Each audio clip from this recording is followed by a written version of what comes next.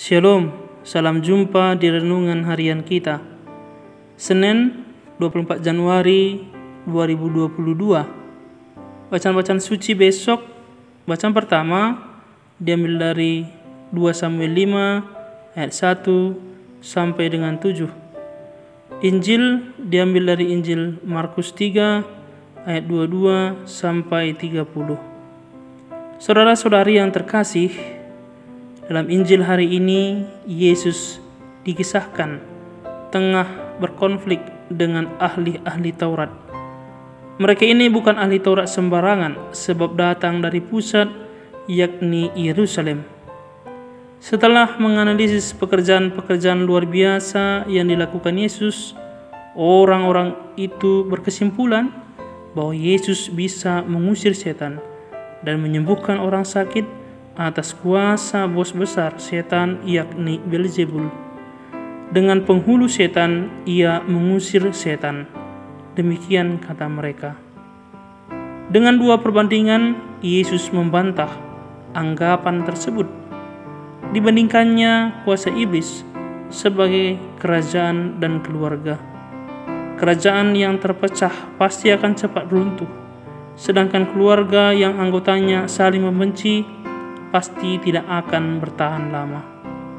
Kuasa iblis bisa sangat kuat karena mereka bersatu dan bekerja sama. Iblis tidak mungkin mengusir iblis karena mereka adalah satu kelompok. Saudara-saudari yang terkasih, ahli-ahli Taurat itu telah melakukan kesalahan fatal. Mengusir setan dan menyembuhkan orang sakit adalah perbuatan-perbuatan baik. Yesus melakukan itu semua dengan kuasa Roh Kudus, namun didorong oleh sikap permusuhan dan kebencian. Apa pun yang dilakukan Yesus akan tetap salah di mata mereka. Orang-orang itu menutup mata bahwa tindakan Yesus itu sangat berarti bagi orang-orang yang membutuhkannya.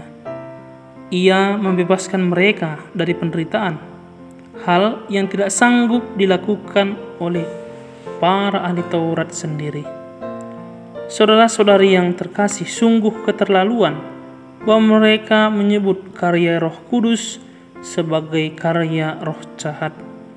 Ini adalah hujahat, hujatan terhadap Roh Kudus yang menurut penegasan Yesus tidak mendapat ampun selama-lamanya. Banyak di antara kita penasaran dengan pernyataan Yesus ini. Apa persisnya yang dimaksud dosa yang menghujat Roh Kudus? Orang menghujat Roh Kudus kalau ia dengan sadar dan bebas menolak kuasa dan rahmat penyelamatan Allah yang dinyatakan melalui perkataan dan karya-karya Yesus ia tidak mendapat pengampunan bukan karena Allah tidak mau dan tidak mampu mengampuni, melainkan karena orang itu sendiri menolak pengampunan itu. Dengan penuh kesadaran, orang itu menjauh dari Allah dan menutup diri dari kerahimannya. Saudara-saudari yang terkasih, pada hari ini gereja juga memperingati Santo Fransiskus dari Sales ia adalah uskup dan penjaga gereja. Dia selalu menggerakkan dan melakukan devosi kepada hati kudus Yesus. Dia mengatakan, "Juru selamat kita akan mengambil hati kita dan menggantikannya dengan hatinya sendiri." Namun, bukankah dengan demikian membuat hati kita sepenuhnya menjadi hatinya?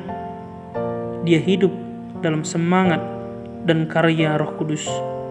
Dia selalu membuka hati dan dirinya untuk digerakkan Roh Allah itu.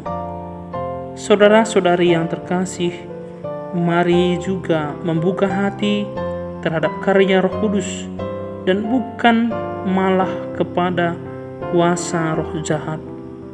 Tanda bahwa kita digerakkan Roh Kudus ialah bila kita hadir dan mau untuk menyembuhkan atau meneguhkan sesama bersahabat, dan berjuang mewujudkan damai. Sedangkan roh jahat akan membuat orang suka menghujat sesama dan memunculkan perselisihan. Semoga Tuhan memberkati. Amin.